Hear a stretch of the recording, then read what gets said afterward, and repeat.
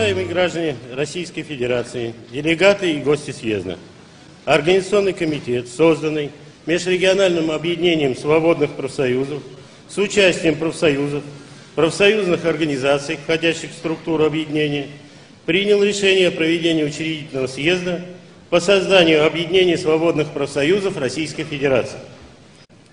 Слово для доклада предоставляется Левашову Николаю Викторовичу, председателю Организационного комитета. Просьба записываться для выступления. Пожалуйста.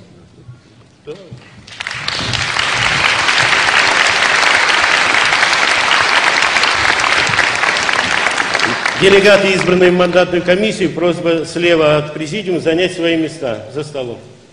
Э, добрый день, соратники, друзья.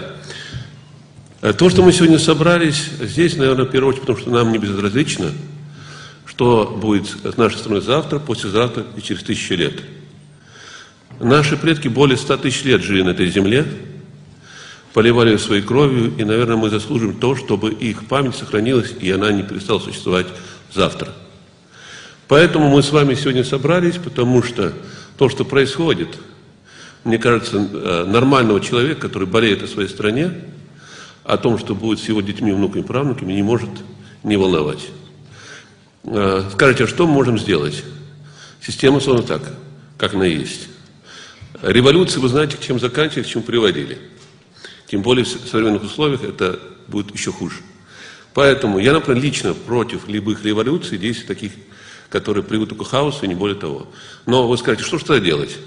Смиренно ждать, пока мы на всех э, перережут или другим способом, или мы вымрем спокойненько сами по себе? Нет. Дело в том, что у наших предков существовала система э, организации общества весьма действенная. То есть было много уровней. То есть э, люди, жившие в каком-то месте, выбирали себе человека, которому они доверяли. И он отвечал за все, что происходит с тем поселением, э, в том, э, той группе людей, которые выбирали. И если что-то он делал не так, его сменяли. В данной ситуации, которая существует, прямые выборы, а не многоуровневые выборы, такая возможность исключена. Вы скажете, а что же можно сделать? А очень просто. В данном случае то, что мы собрались, и есть, в принципе, способ официально, согласно Конституции, действовать так, чтобы поставить свои э, э, права, обязанности как граждан и ответственности. Как? Очень просто. Э, вот Александр Николаевич ну, затронул профсоюз, да? Но это профсоюз понятие бывает странно. Вот должен быть профсоюз там металлургистов, там, медиков и так далее. Но профсоюз может создаваться в любом. Любой дом может собрать, э, создать профсоюз жителей дома. Выбрать себе руководителя. И если что не так, то по полной катушке к нему спрашивать. Не какого-то дядю, которого они никогда не увидят в своей жизни, может быть. И в лучшем случае ему дадут коснуться его, да? В лучшем случае. А того человека, который не могут прийти и взять спрос с него, спросить. Голубчик или голубушка, а что ты сделал или сделала из того, что мы поручали? И таким образом каждый дом может стать своим профсоюзом. Дома объединятся в районы и так далее, и так далее. И действительно будет народное самоуправление, а не то, что сейчас превратилось. Чиновники, которые сейчас существуют, э, большинство своем не думают о том, что они должны служить народу, а, не, а то, что народ не раб для них. Сейчас мы имеем кого? Чиновник, который считает, что люди, живущие в его регионе, это его рабы. И задача стоит, в принципе, наверное, вам никому не секрет, как можно больше ограбить тех рабов, которые он считает своими уже. Мы считаем себя рабами? Ну, нас считают. Вопрос, стоит ли позволять тех, кто считает, что мы рабы, считать нас рабами, быдлом, скотиной? Стоит? Нет. И вот здесь у нас есть, согласно Конституции Российской Федерации, возможность доказать, что мы не рабы, что мы не быдло. Потому что, знаете, люди носят, а кто-то придет, как царь-батюшка придет и возьмет, и все будет сделать хорошо, по справедливости. Даже если бы так и было, то э, огромное число чиновников будет саботировать, чтобы любое хорошее начинание никогда не дошло до дела. Почему? Им это невыгодно. Потому что они рассматривают нашу страну, как они говорят, место зарабатывания бабла. Это не я говорю, это не сами говорят, правильно? Для них не важно, что станет страной завтра, потому что большинство из них семьи давно-давно живут на Западе, правильно? А учатся на Западе, живут на Западе, все средства не перевели на Запад и так далее. Вопрос. А что мы можем сделать? Просто люди. Люди, которые не считают, что мы должны превратиться в рабов, которые не считают, что наша страна должна быть стать сырым придатком кого-либо вообще. И что, как заявлять, что Россия не имеет права владеть, э, допустим, Сибирью, богатством. Мы не имеем права владеть. А они, оказывается, имеют право владеть и своими богатствами, нашими тоже. Забавный подход. И это говорят официальные политики. То, что, э, вот я уже подчеркивал, что вот э, раньше была, допустим, э, коммунистическая система в Советском Союзе.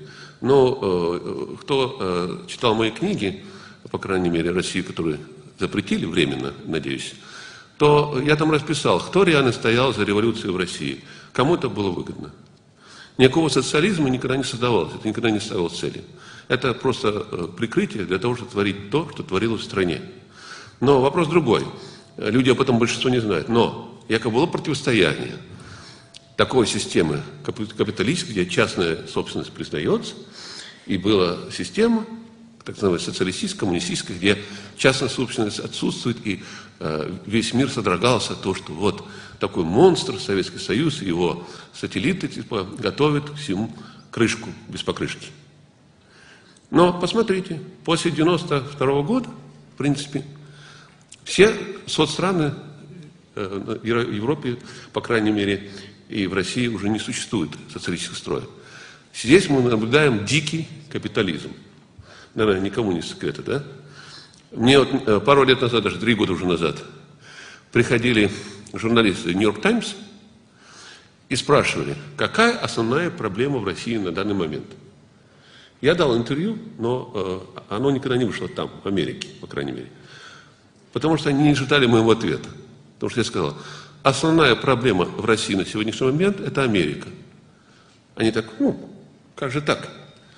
Я говорю, а по той простой причине, что то, что происходит в, Советском, э, бывшем Советском Союзе, а теперь Российской Федерации, происходит по сценарию, по тем э, планам, которые принесли советники, консультанты, которые сидели в Кремле и говорили, как нужно строить правильное будущее, капиталистическое будущее.